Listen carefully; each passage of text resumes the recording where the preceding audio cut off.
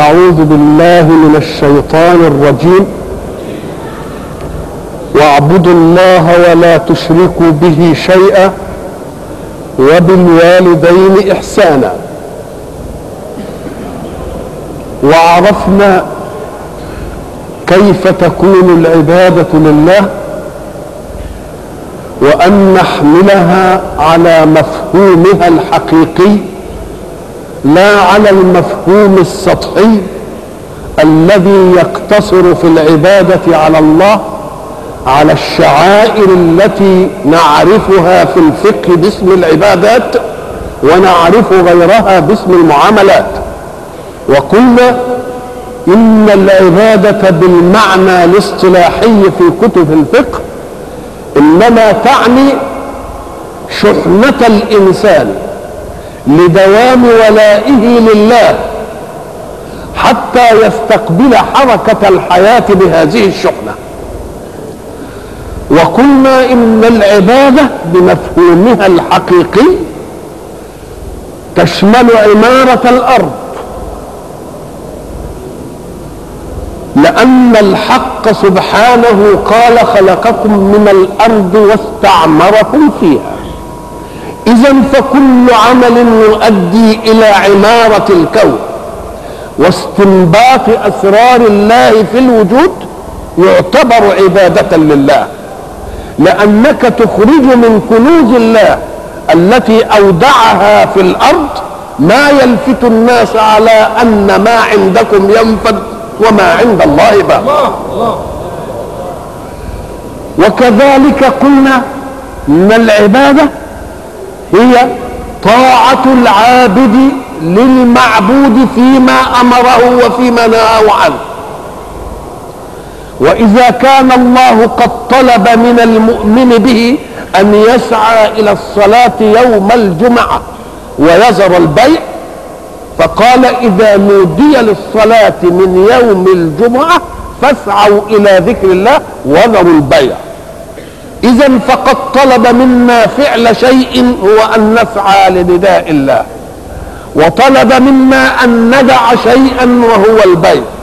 فلم يخرجنا إلى عبادته وهي صلاة الجمعة من فراغ ولا من خلاء وإنما من البيع الذي يمثل جماع حركة الحياة كلها لأن البيع كما قلنا واسطة بين المنتج لأي صنعة وبين المستهلك ذلك يشمل الصناعات.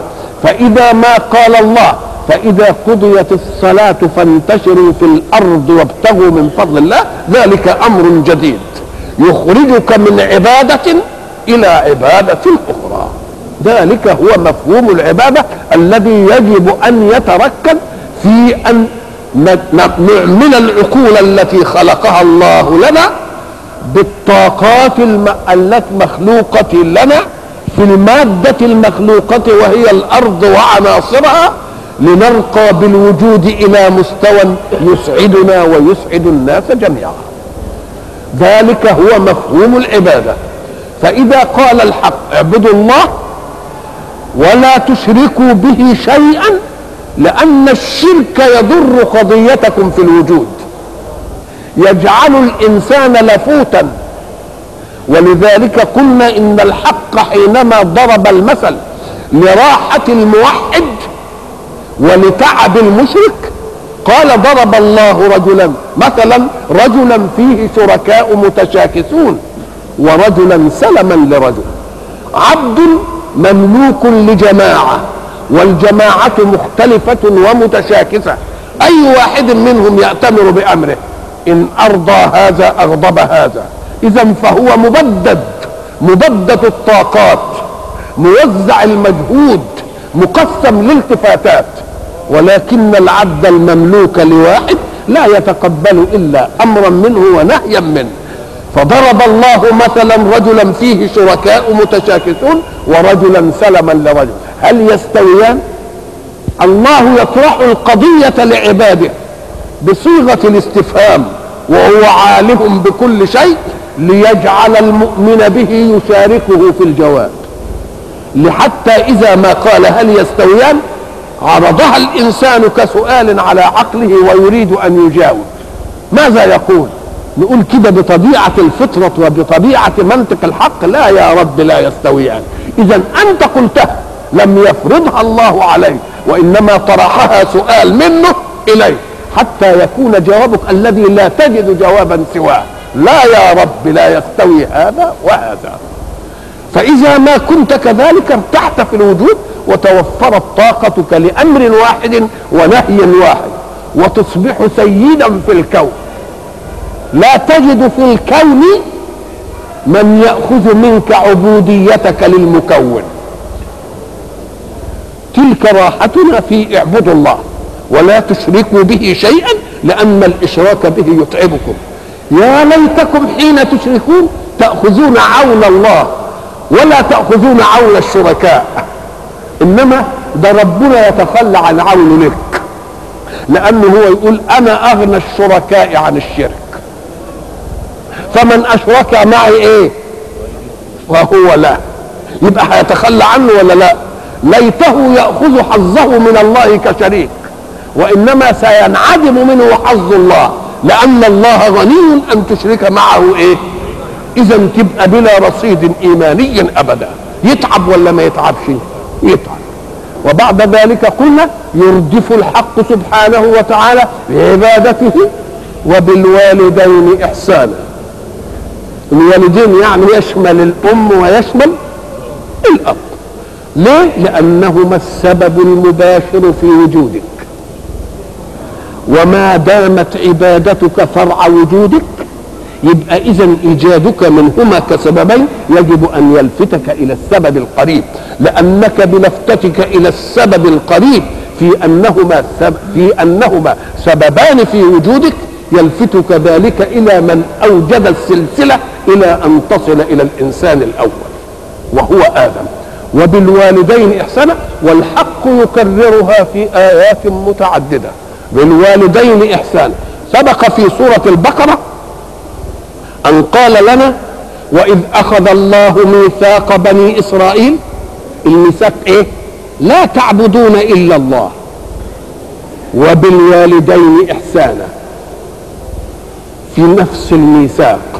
وبعد ذلك تأتي هذه الآية التي نحن بصددها. اعبدوا الله ولا تشركوا به وبالوالدين وبعد ذلك يأتي أيضا في قوله سبحانه قل تعالوا اتل ما حرم ربكم عليكم.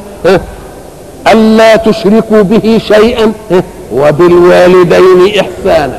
وبعد ذلك يأتي الحق سبحانه وتعالى فيقول في سورة الأحقاف ووصينا الإنسان بوالديه حملته أمه كرها ووضعته كرها. ويأتي أيضا في سورة أخرى وهي سورة العنكبوت ويقول ووصينا الإنسان بوالديه حسنا. حتى أنهما إن جاهداك على أن تشرك بي ما ليس لك به علم فلا تطعهما. الله. حتى في موضوع الشرك بالله يقول لك إيه؟ برضه. وقلنا إن الحق سبحانه وتعالى يريد منا وإن كان الوالدين مشركين إن نعطف عليهم معروفا. لأن المعروف كما قلنا يصنع لمن تحب ومن لا.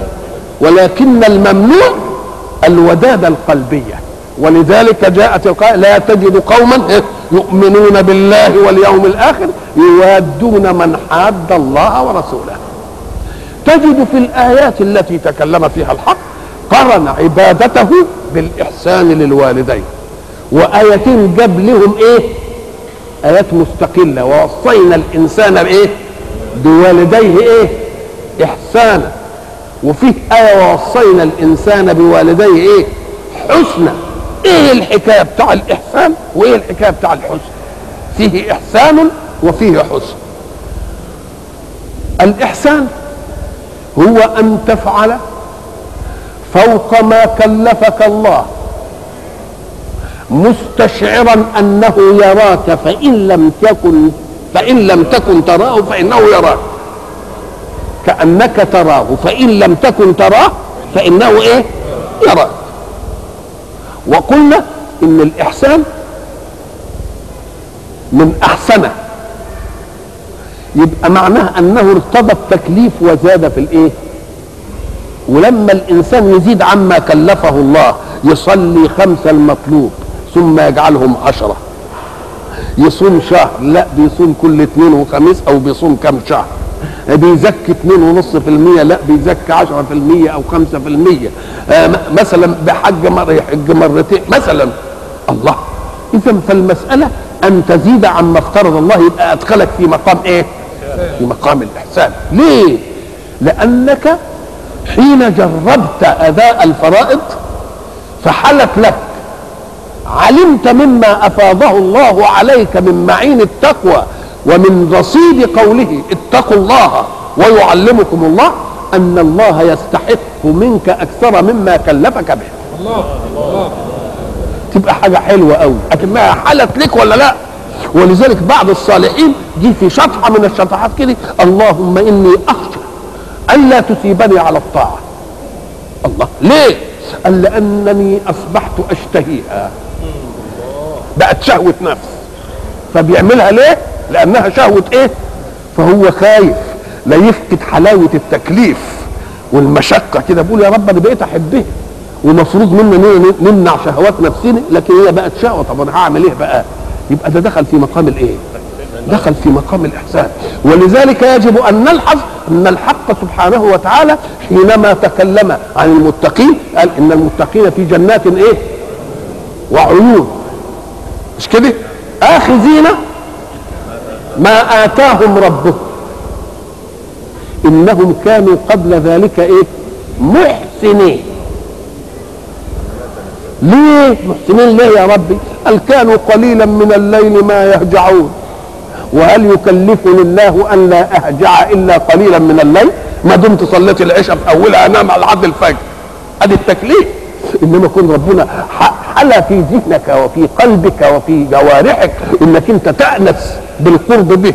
قلنا بقى ده ما يردكش يستقبلك. إنما ادخلك في مقام إيه؟ إنهم كانوا قبل إيه؟ محسنين. ليه؟ كانوا قليلا من الليل ما يهجعون. وبالأسحار هم يستغفرون. طب ما حدش يكلف ما كلفنيش ربنا كده. قال لي انت تصلي خمسه فروض؟ العربي قال إيه؟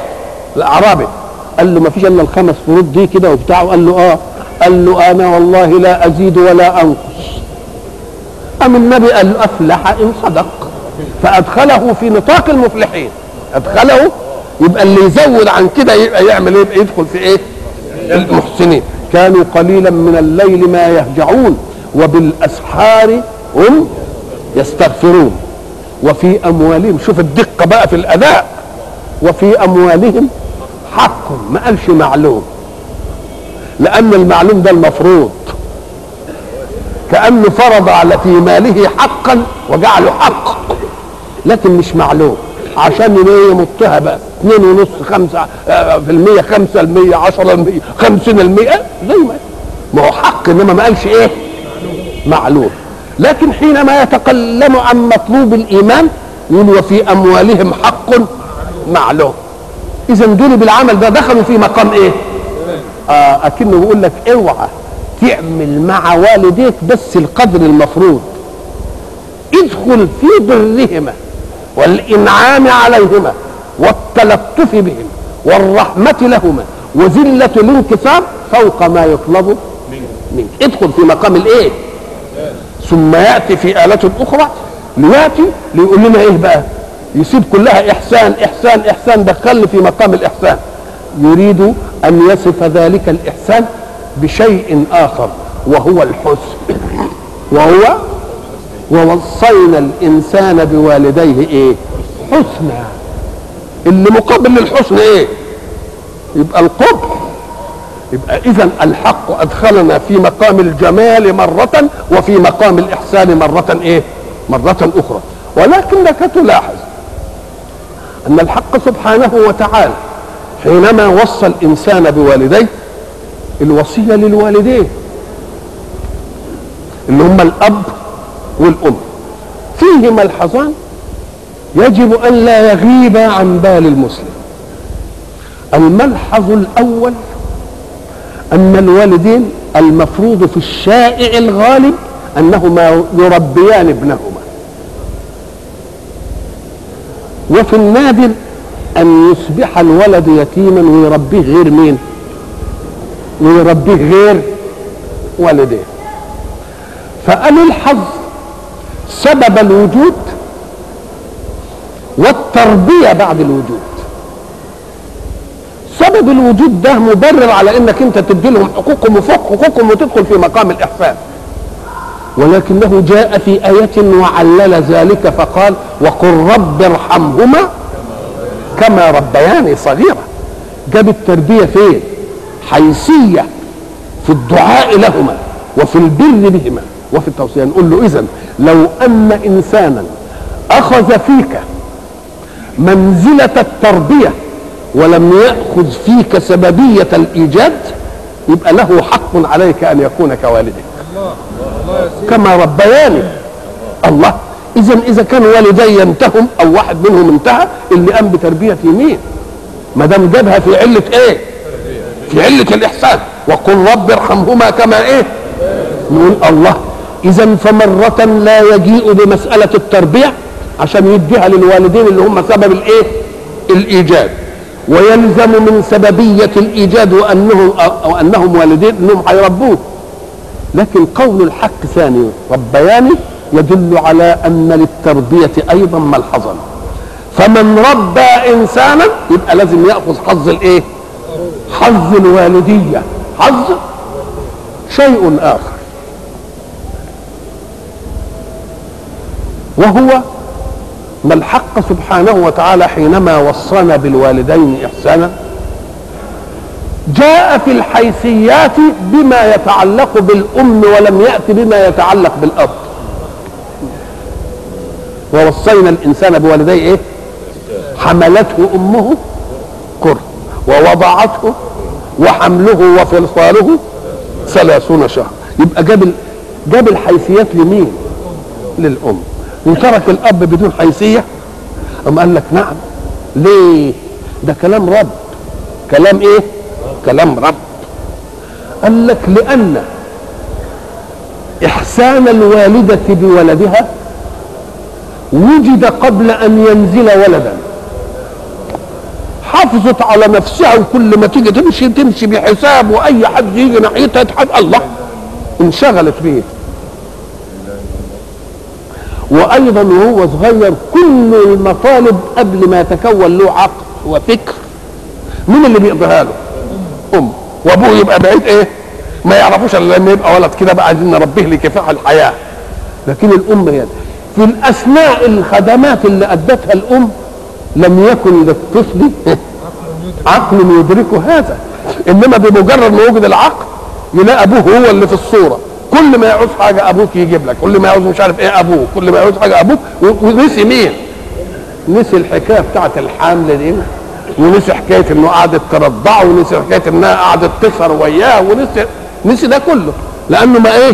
كانش عنده يضر يبقى مين اللي عايز الحيثية؟ إذا فحيثية إكرام الأب موجودة لل... للإنسان. لأنه هو شاف كل عمله وياه. إنما الأم يمكن إيه؟ لأنها جاءت في غفلة الطفولة. جاءت. فعمل إيه ربنا؟ راح جايب قال وصينا الإنسان بوليه حسن حملته أمه كرها ووضعته كرها وحمله وفصاله ثلاثون إيه؟ شهرا. احسبها بقى. 30 شهر في إيه؟ في العم. والأب فين؟ الأب صحيح هو اللي جايب الأصل.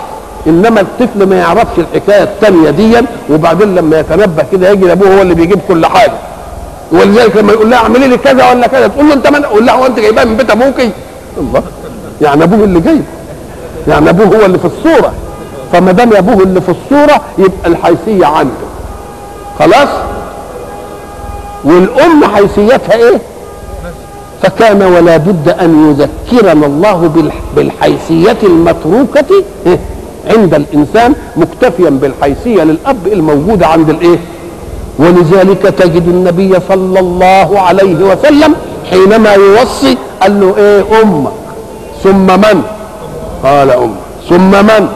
أمك. وبعدين ثم من؟ قال أبوك. لما تقعد تحسبها كده تلاقيها إيه؟ تلاقيها واضحة. وأيضا فالأبوة رجولة. والرجولة كفاح وسعي. والأمومة حنان وستر مستورة.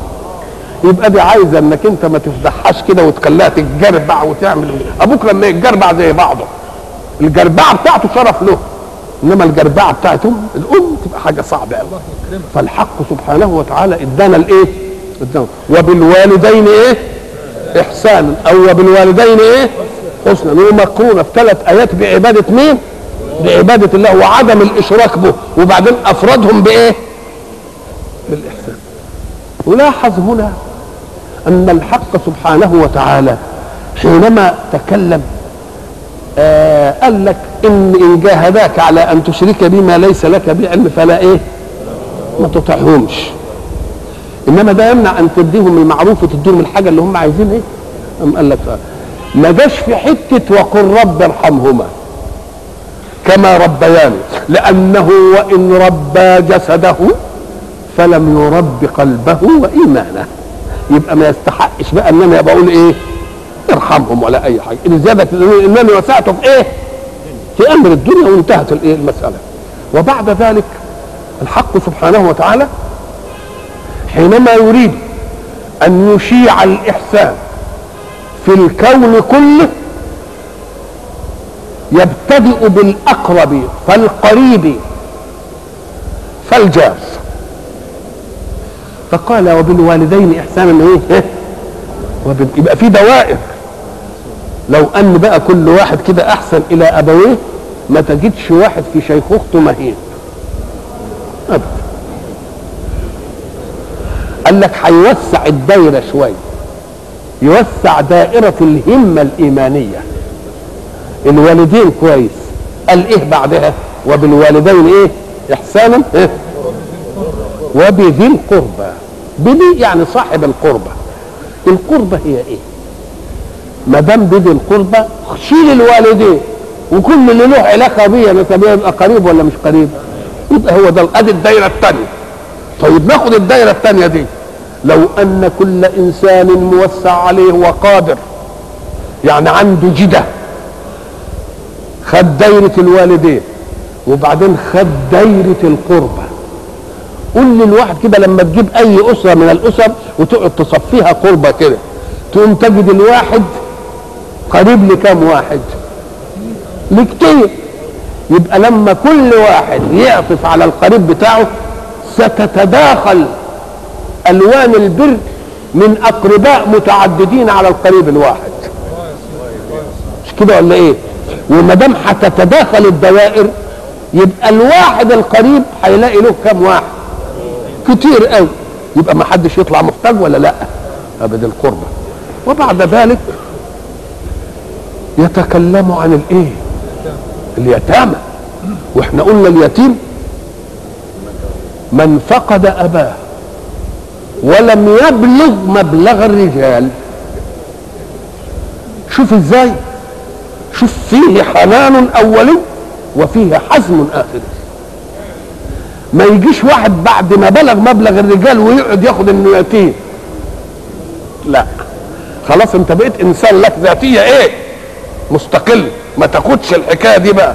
يتيم انت ما بلغت مبلغ الرجال خلاص انحل ذلك الوصف عنك انحل ذلك اللي تموت أمه ما نسميهش يتيم. لكن في الحيوانات اليتيم في الحيوانات مش اللي فقد أبوه اللي فقد أمه. ليه؟ أم قال لك لأن الطفولة بتاعت الحيوانات بمجرد ما تنتهي الحيوان ما يعرفش لا أبوه ولا أمه. في الكون بقى انتهت المسألة. الله. يبقى إذا والطفولة دي مين اللي بيرعاها؟ الأم. يبقى إذا الحيوان اليتم بتاعه إيه؟ الأم. الرد ال ال ال ال ال الإنسان اليتم بتاعه إيه؟ ليه لأن إحنا قلنا الإنسان أطول الحيوانات عمر طفولة. طفولة الشيء مرة طفولة الذبابة تبقى كم ساعة؟ والطفولة الثانية تبقى يومين. والطفولة في طفولة ثالثة تقعد سنة. سنتين. إنما طفولتنا لحد إيه؟ لحد ما نبلغ. مش كده؟ حتى يبلغ طويلة ولا مش طويلة؟ ليه كانت طويلة؟ قال لك لأنه مربى لمهمة اسمى من الحيوانية. فالطفولة بتاعته إيه؟ إحنا قلنا زمان إنك أنت لما تيجي مثلا تزرع شوية فجل تاكل بعد كام؟ بعد 15 يوم تاكل منه. مش كده ولا إيه؟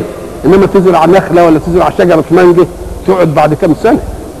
بعد مدة. إذا طول مدة الطفولة وعدم الإنجاب للمثل بيتوقف على إيه؟ على المهمة بتاعت الله. مهمته كبيرة تبقى مده طفولته إيه؟ مده طفولته أطول. ده كلام. يبقى اليتيم من فقد أباه ولم يبلغ مبلغ الرجال. الله سبحانه وتعالى يريد أن أن يوسع الدائرة. إياك أن تقول الوالدين بس أو أصحاب القربى بس. خد مين؟ في الدائرة كمان اليتيم. لأن اليتيم فقد مين؟ فقد أبوه. فقد أبوه ثم يرى كثيرا من لذاته وأقرابه لهم آباء. فلو ما كانش الحق سبحانه وتعالى يوصي بهذا اليتيم لنشأ الولد وفي قلبه جذوة الحقد على المجتمع. ويمكن يتمرد على الله. اشمعنى أنا ماليش أب؟ ودول لهم أب بيجيب لهم حاجة. لكن حين يرى أنه فقد ابا واحدا ثم وجد في الجو الإيماني آباء متعددين ما يسخطش على إن ربنا خد ابوه وأيضا فإن الذين يخافون على أبنائهم أن يموتوا وهم صغار. لو رأى الواحد منا يتيما مكرم في بيئة أبوة إيمانية ما يقعدش يشغل نفسه لانني خايف لا أموت والولد يبقى صغير. يقول لا ده المجتمع فيه خير. ما تشوف عمل في اليتيم الفلاني إيه واليتيم الفلاني إيه. إذا يستقبل قدر الله في نفسه بنفس راضية ولا لا؟ ولا يقعدش يأرق نفسه بعملية قد تتعبه طيلة إيه؟ يقول لك أنا العيال عندي. طب وأموت مش عارف إيه؟ ودي مسألة شغلة الناس ولا مش شغلة الناس؟ الله نقول له بقى إذا كان في بيئة إيمانية واليتيم مرعي من آباء إيمانيين متعددين يقوم يعمل إيه؟ الولد ما فيش فيه حقد. الأم ما يطلعش فيها حقد. الآباء لأطفال ما يزعلوش قوي لو أن القدر جاءهم ما يخافوش من الموت. ولذلك شوف وليخشى الذين لو تركوا من خلفهم ذرية ضعافا خافوا عليهم. فليتقوا الله وليقولوا قولا سديدا لأنك إن رأيت المجتمع الإيماني قد رعى أيتام غيرك فستكون على ثقة من أنه يرعى مين؟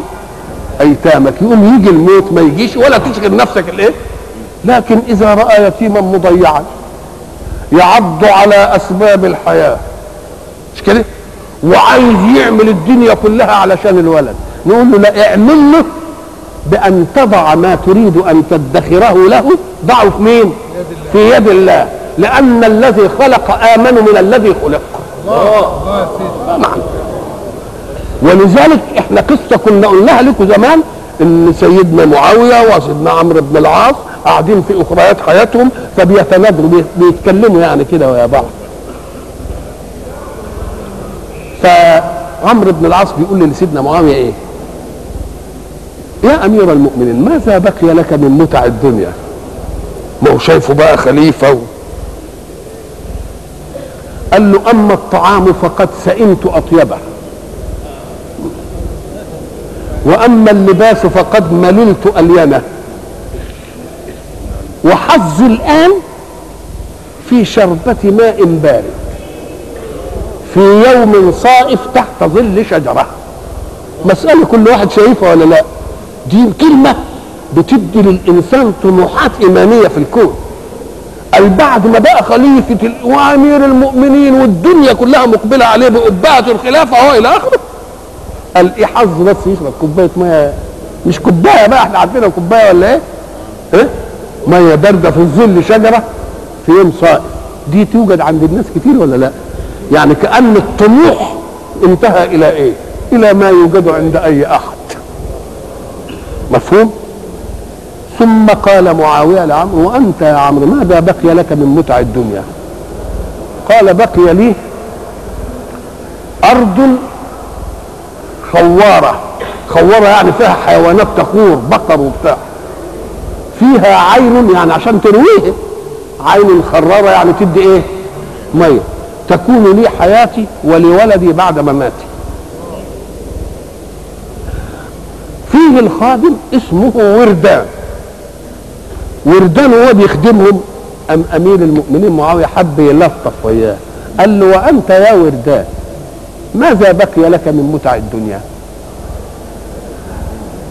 شوفوا الجواب بقى عبد.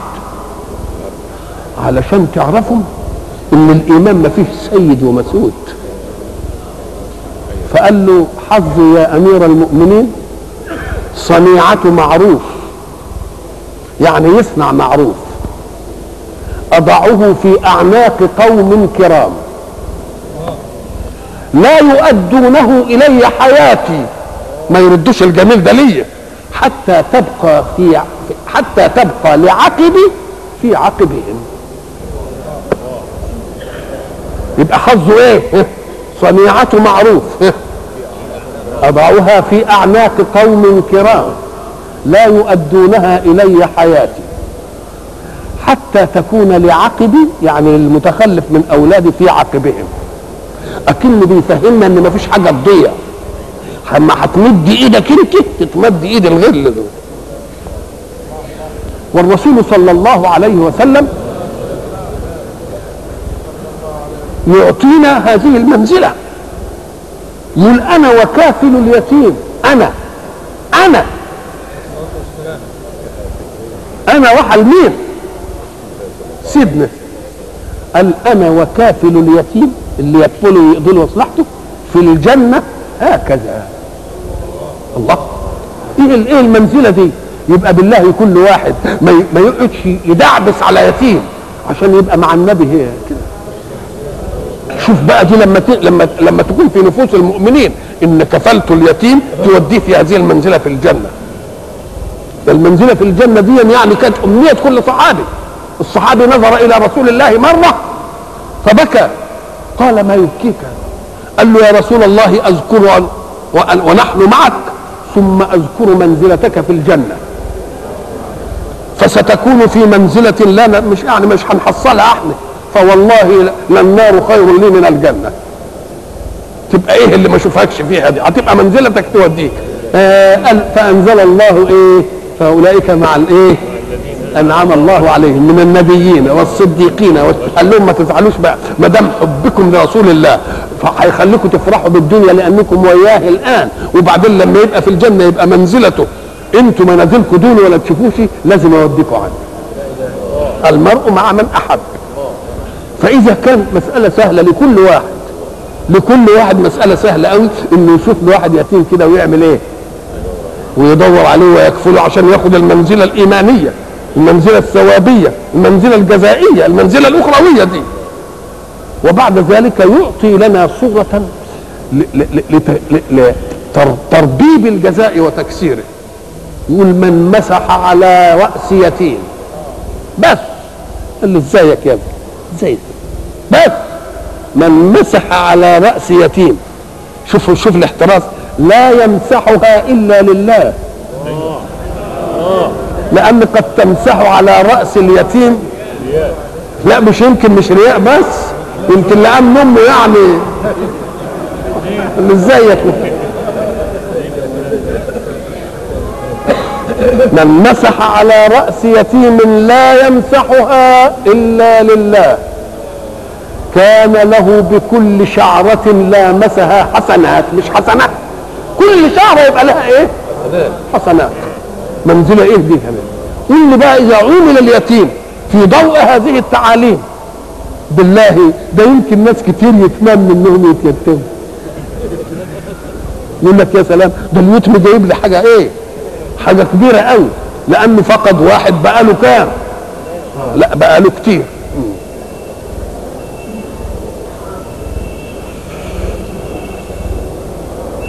والمساكين.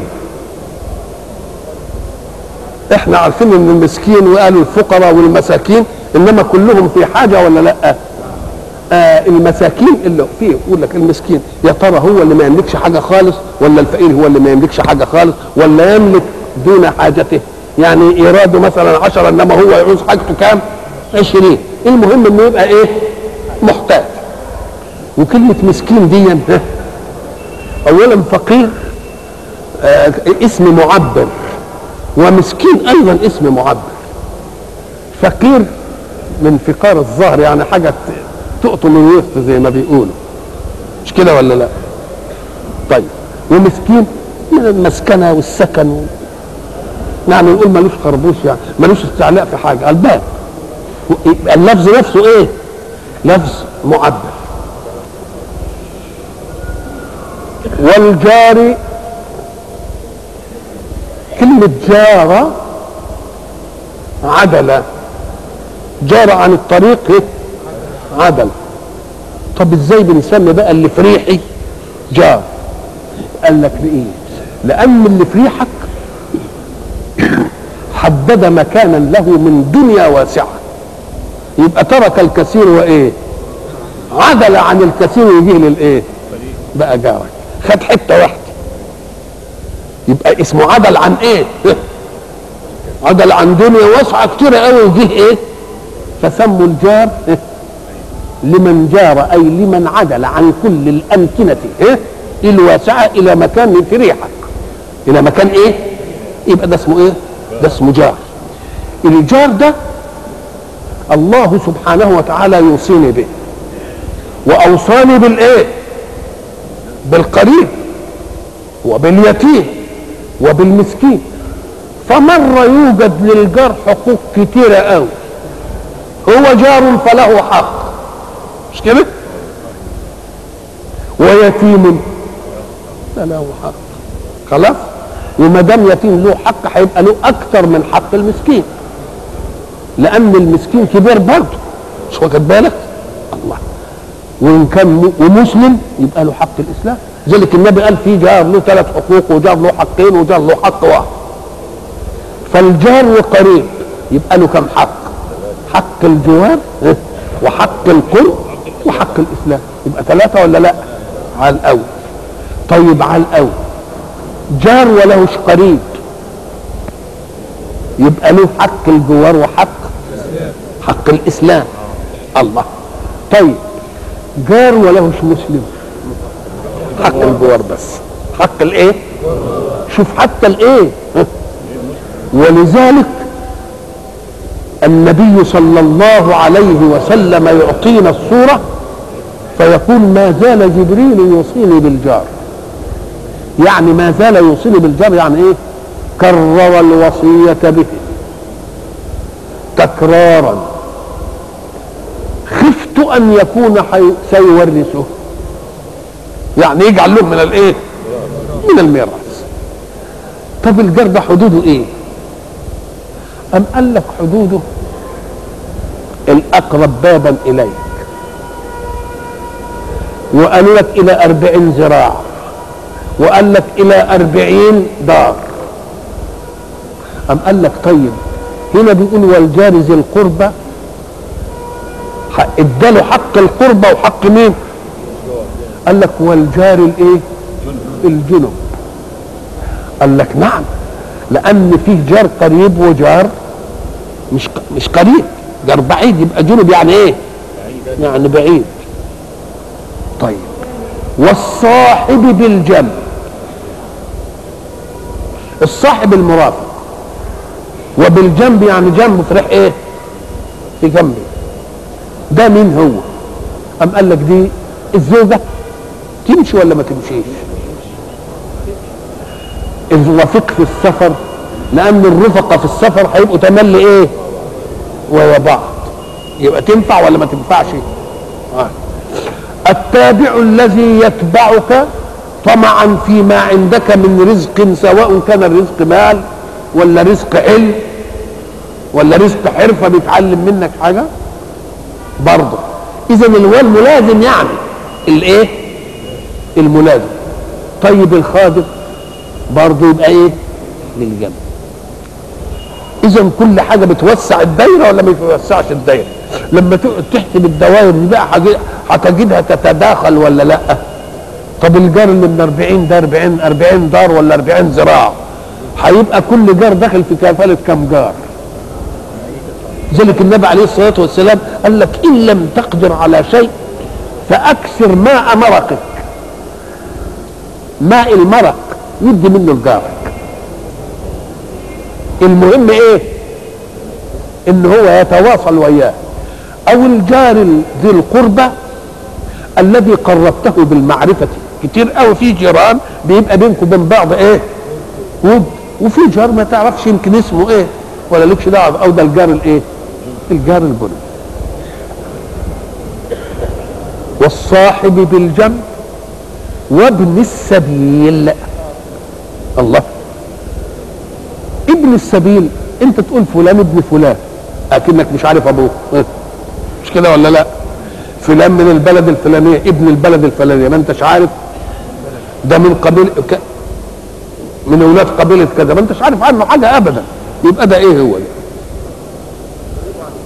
آه غريب وانقطعت به كل الأسباب. حتى الأسباب الذي يتعرف بها. لا ابن مين ولا مننا بلد ولا تعرف عنه أي حاجة. يبقى ده ليه إيه؟ ساعة ما تشوف يقول لك ابن سبيل. ابن؟ ابن طريق يعني. يعني لا يجد مكانا ينسب إليه إلا الطريق. لا يجد أبا ينسب إليه. لا يجد أم لا يجد قبيلة ولا أعمى. ما تعرفش عنه حاجة. اسمه إيه ده؟ ابن إيه؟ ابن طريق. وما ملكت أيمانكم. إحنا كنا تكلمنا عن ملك اليمين وقلنا إن الإسلام إنما جاء لا ليشرع رقا ولكن جاء لينهي رقا. وما دام بينهي الرق يعمل إيه؟ قال لك منابعه التي كانت موجودة قبل الإسلام تنسد. ولا يبقى إلا منبع واحد هذا المنبع الواحد هو الحرب المشروعة. الحرب المشروعة. حرب المشروعة طب ليه ما اطلقهمش زي ما؟ أم قال لك لا لأن الحرب المشروعة عرضة أن يأخذوا من أبنائي وأنا آخذ من أبنائهم. فلا أطلق أبناءهم إن جاءوا في يدي ليظل أبنائي أنا في أيديهم. ولذلك انتهى إلى المعاملة بالمثل. معاملة اللي انتهت إليه اللي انتهى إليها العالم الإيه؟ الحديث على الأول.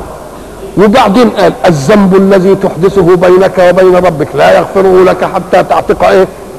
رقم عملت ظهار تعتق إيه؟ رقم حلفت يمين وطلع تعتق إيه؟ الله.